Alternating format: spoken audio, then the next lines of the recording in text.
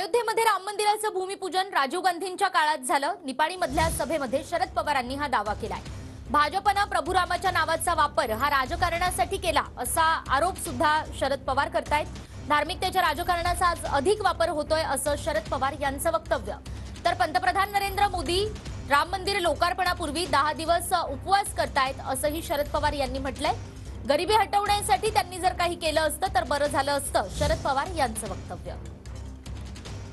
मंदिराचा इतिहास जर बघितला तिचं मंदिर बाबरी मस्जिद फाडल्याच्या नंतर बांधण्याचा ज्यावेळी विचार झाला त्यावेळेला त्याची परवानगी ही राजीव गांधी प्रधानमंत्री असताना झाली.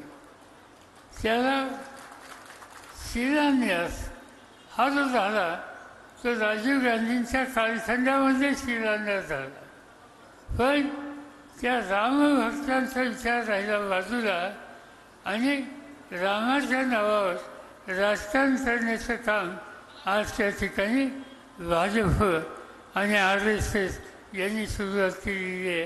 ही गोष्ट आपण गांभीर्याने घेतली पाहिजे. करते या देशाचा जो उपाशी शेतकरी आहे मजूर आहे कष्टकरी आहे त्याच्यासाठी फरस्त करत नाही काल देशाच्या प्रधानमंत्र्यांनी सांगितलं की आता दहा दिवस मी उपवास करणार आहे. रामाच्यासाठी रामाची त्यांची श्रद्धा त्याचा मी आदर करतो.